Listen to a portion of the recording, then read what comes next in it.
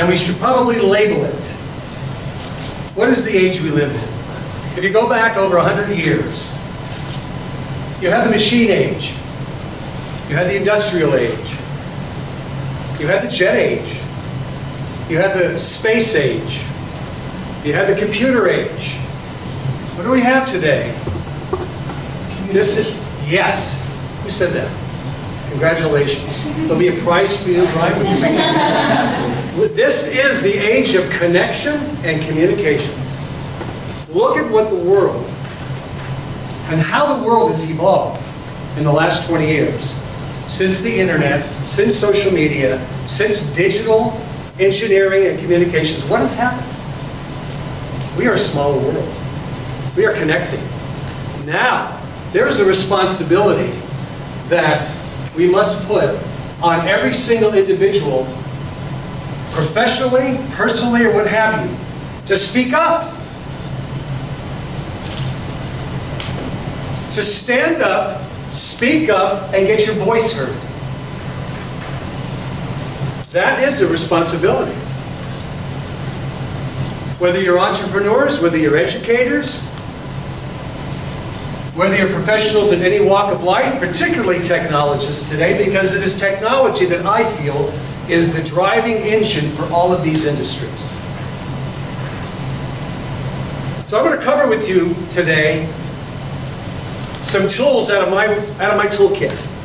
And I wrote this book, No Fear Speaking, because I wanted a simple, easy to learn and use and apply toolkit that anybody can apply to become a more confident, dynamic communicator. So we can really fully connect. I don't care whether you're standing in front of a small group or a, in a conference table, a, a large group, you're, you're on radio or television, or you're sitting down one-on-one, -on -one, or you're making a, a, a negotiation with someone. It all involves what? Communication. Not this type necessarily. I, I, I had a, I, as my as my kids were growing up, I had a laugh because they were talking to each other like this at the table. And I couldn't figure out what they were doing. I thought they were playing video games and they were having a conversation. I said, this is the dinner table. And so I want to make sure that we all understand the importance of communication being a look in the eye, a hug, a handshake, a warm feeling you get with someone. We should never, ever replace that, should we? That's what attracts people to us. That's where trust comes from. That's where respect comes from. Is that embrace, that heartfelt connection. So what I would like to talk about here are the five C's of what it takes to be a commanding speaker. And I'm going to emphasize the first one. Commanding means not George S. Patton, I will get this job done. Commanding is inspiring. It's influencing people. It's helping people to move in the direction they want to go. That's commanding. It's not standing up and saying, I gave a great speech today because I didn't say any ums or uhs. And I, I said every word I was supposed to say the attention and the focus of a great presentation is the audience. Your audience is your product. Do you care? The first ingredient is caring. And caring means, do I, do I really have a sense of understanding? Am I really available to my audience to let them know that I care about what they care about? Do you know your audience well enough to know what your audience cares about? Because you better darn well care about it. Caring. You can replace that word with responsible. Because people who don't care aren't responsible. Comfortable. Now, I can tell you most people will come up and stand in front of an audience and they can get comfortable one-on-one -on -one, and when they, when they approach a large group or a small group, something gets diluted, something gets added. Of course then, the idea of course is that as a speaker, as a communicator, is you're having really a one-on-one conversation with your audience, aren't you? I'm having a one-on-one with you, and with you, and with you. I'm having a one-on-one with you. I gotta tell you a story, real quick. I'm seven years old, my father says, black and white TVs, watching black and white TV, ear, you have rabbit ears pointing out of the TV set. I'm upstairs, Joey, come on down here, you gotta see this. Okay, I'm seven years old. This is back in the late 50s. And I'm hearing this bellowing sound. And uh, the camera's panning the audience. I mean, it's a huge audience in a stadium. And it's one man with microphones in front of him. Billy Graham. Billy Graham Crusade. One man speaking to all of these people as comfortable as you might be speaking to your best friend at lunch. I looked, I said, wow, I want to do that. Well, that inspired me. I said, one man could talk to all these people. How could that be? Pretty comfortable. A person's got to be comfortable in their own skin to stand up there and go, I'm just here and you're over there. And you know what really public speaking really is? Public speaking is this. I'm looking at you, looking at me.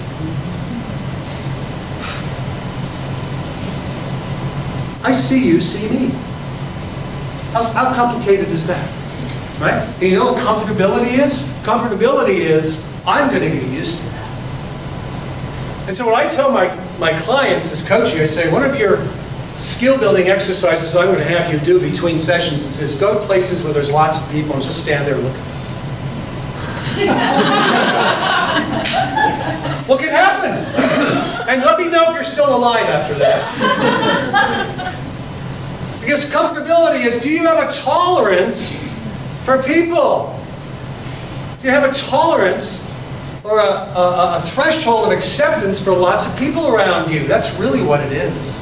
So good with theater before it starts filling up. and stand to the side, you know, and with the screen behind you. And watch people walk in and just stand there and get, get, get the sense that they're waiting for you to come in and speak. And just get the sense of like having them, experiencing them. That's comfort, okay? Because, you know, if you put your audience at ease, it's because the speaker is at ease, putting that, that audience at ease, correct? That's a main thing. The audience will always go the way the speaker goes. You ever notice that? Well, here's the next one. Well, credibility. What is credibility? Credibility says, I know that I know. I'm not arrogant about it, but I know that I know. But I better darn well prove my point. Because if you're going to command any industry or command any group, people got it. You did a lot of credibility, by the way. I really liked your presentation because you proved it. You gave a lot of support sources in your presentation. You see, and support sources say, I did my homework. You know, you don't want to make a point unless you can back it up. We're a very debateful society, aren't we? You know, people want to challenge you all the time. You make a point, you go, well, what about this? What about that? You've been a court of law and you've seen these, these shows and on television where you have to prove beyond reasonable doubt. If you can't prove beyond reasonable doubt, where you can, one side or the other is going to win. You have to prove beyond reasonable doubt the point you're making is true, so back it up with support sources. I have an entire chapter in my book dedicated to that. That's how important it is. You want to command an audience?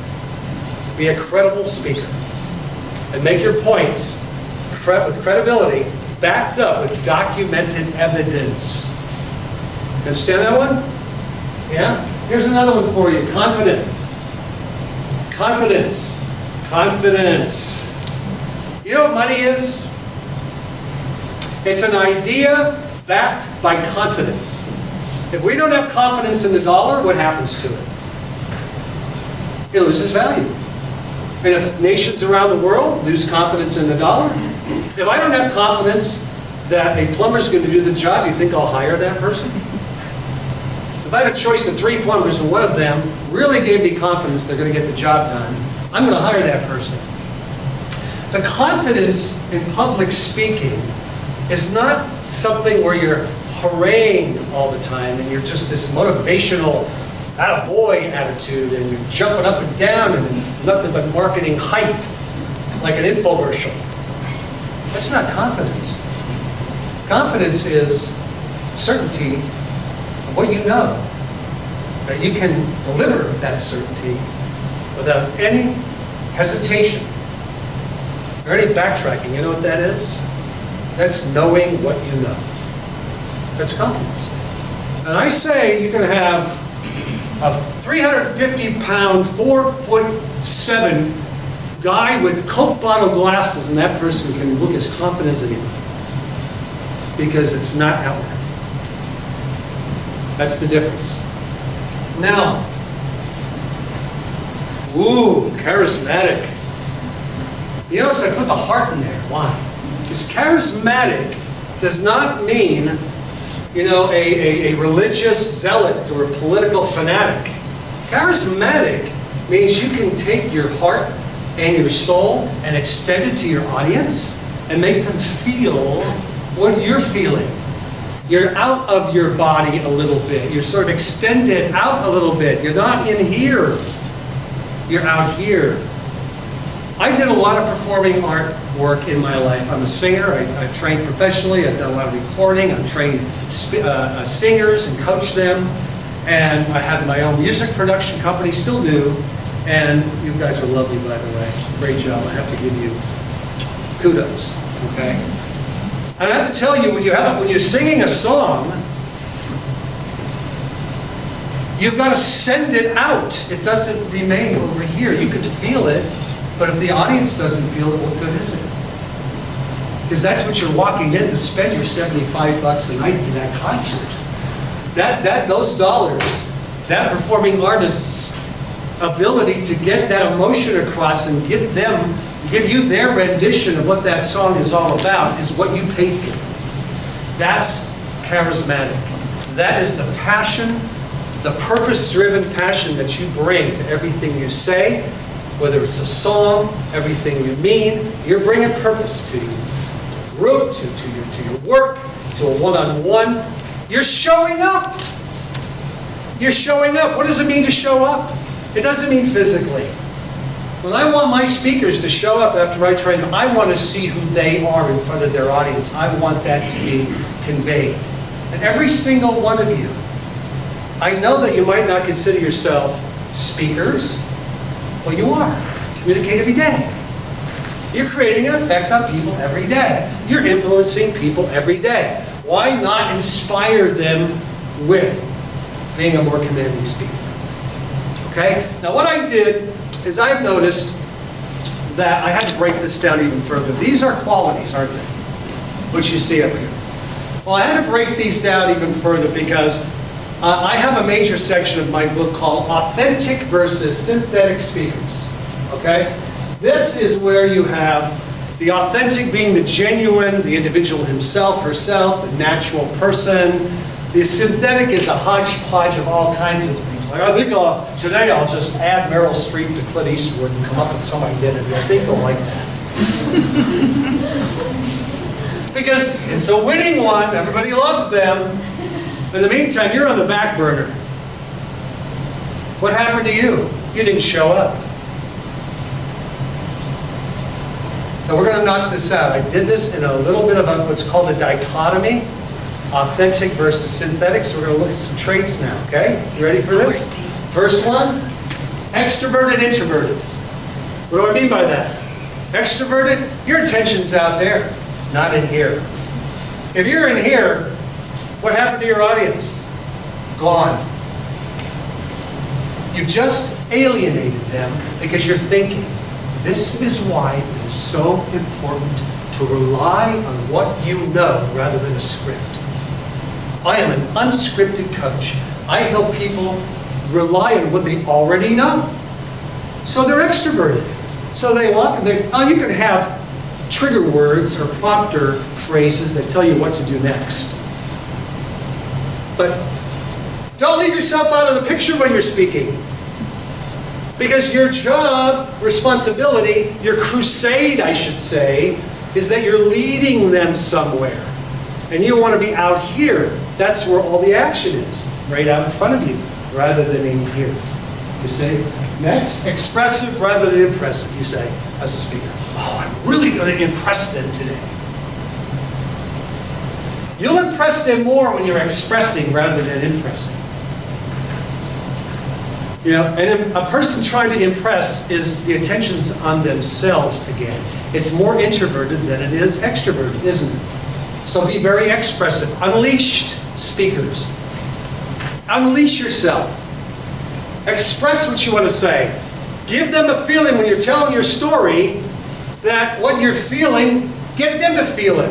When you're hearing something, get them to hear it. Describe it so that they can see it the way you see it. Take them through that journey so you're expressing. You'll get more impact on your audience that way than ever. Interested rather than interesting. I'll tell you what's interesting is that step, that chair, because that just attracts attention. Do you want to be an object? Be interesting. Objects are interesting.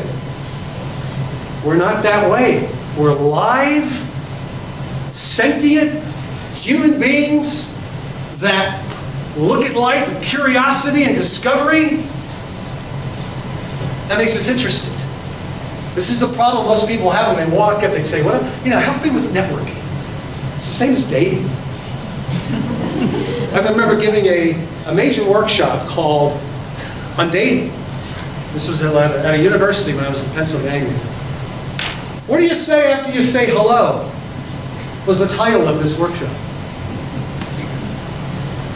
Well, look, what are you interested in? What are you curious about? Again, where's your attention when you're speaking? Not on oneself, because you have a propensity then to start talking about yourself. And isn't that a turn on? Right? Natural, artificial. You're already okay. You're okay the way you are. Don't try to add to it. Don't try to mix in some kind of alloy. Right? You're cool. Show up. Hello. Thank you. Natural, artificial. You see the dichotomy here? You see the yin and yang of this? An effortless presentation is one which is not forced or pushed. You know how you get effortless in life? I gotta tell you, I've had some experience as an athlete, I've had some experience as an artist. And every single one of those vocations takes practice. Yes, practice. Repetition, repetition. You want to teach kids? Then get them to discover that it takes repetition and practice to be competent. Then practice your speeches. Put a recording. Never, never, never look in the mirror and give your presentation because that's introverting. Look around your environment and give some idea of what you're about to connect with. When you see your environment, look and connect at least to your message, connect to your audience, and then, of course, lastly, connect the message to your audience. And as an unleashed speaker, you have the ability now to drive your audience, to drive them to a call to action, to get them inspired as leaders. And so, from this standpoint of being in the age of connection, you have now connect to your message with a belief, connect to your audience that you care about them, so that you can connect your message to them without a problem.